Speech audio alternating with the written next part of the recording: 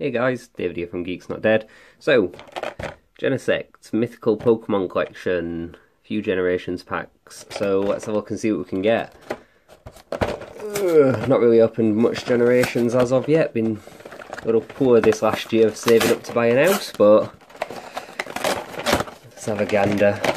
Can only hope for something good. Uh, don't even know what that is. What's the leaflet in these things? Just an advert for the event. Yeah. So, uh, uh, here we go. So I'm going to keep code cards because as much as I haven't been online for a bit, I'm wanting these once I get online. So, Genesect, 110 HP, linear attack, and destructor beam. There we go. Let's have So I've got two packs and also a badge. Little Genesect badge. Got my work lanyard. Let's check what we get in these. So,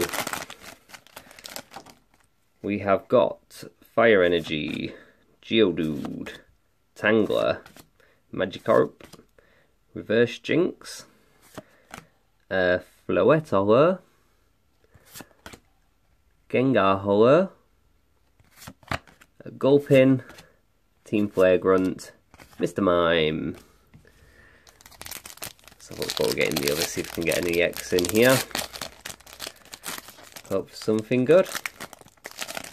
Uh, so we've got Slowpoke, Dark Energy, Gastly, Krabby, Reverse Haunter, to go with my Gengar, uh, Dedenne, Zapdos, there we go, full art, we'll take one of them, Swablu, Red Card, Pokemon Center Lady.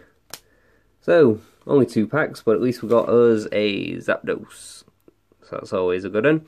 Um, I've got a Ash Greninja box, so I'll be opening that as well, so stick around if you want to see that, and remember to like and subscribe for more videos. Thanks.